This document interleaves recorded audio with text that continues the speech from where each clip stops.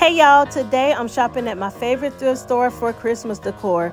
Yes, I'm celebrating Christmas in July. I always look forward to this time just to plan ahead and organize my thoughts when it comes to budget friendly gift ideas. Thrifting is such a great way to save money and to find unique pieces to decorate your home as well.